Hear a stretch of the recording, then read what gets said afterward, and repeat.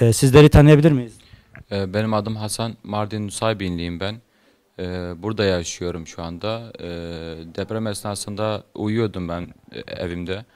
E, Şiddetli bir sallantı oldu, dolapların kapakları açılıp kapandı. Ee, Tam olarak ne olduğunu çözemedim çünkü ilk defa deprem görüyordum burada.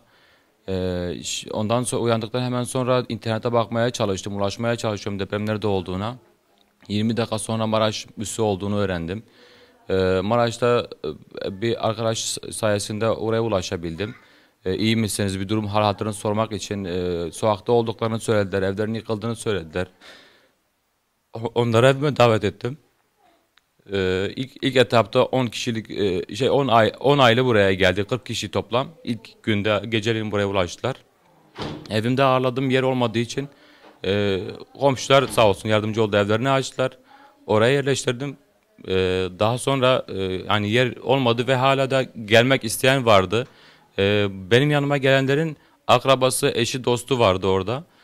Onları ağırlayacağım fakat maddi durum olarak sıkıntım vardı. Yani e, bakacak durum yoktu.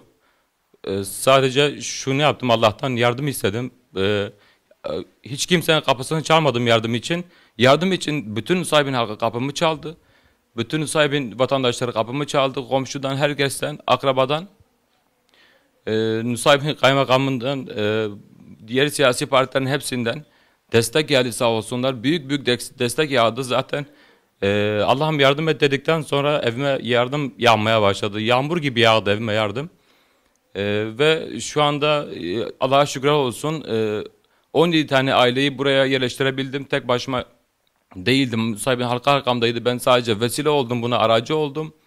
Ee, 87 kişi toplam şu an yerleştirebildik. Şu anda da e, bütün bilgilerini toplayıp kaymakamlığa bildirdim. Sosyal yer kuruluşlarına bildirmeye çalıştım. Yani elimden geleni yapmaya devam ediyorum. Ee, Nusaybin, Mardin Nusaybin'e gelmek isteyen bütün vatandaşlara e, kapımız açıktır. E, başka şehirlerden gelen var. Malatya'dan ulaşanlar oldu öğretmen arkadaşlar sayesinde. Ve e, Malatya'dan, e, Hatay'dan gelenler oldu.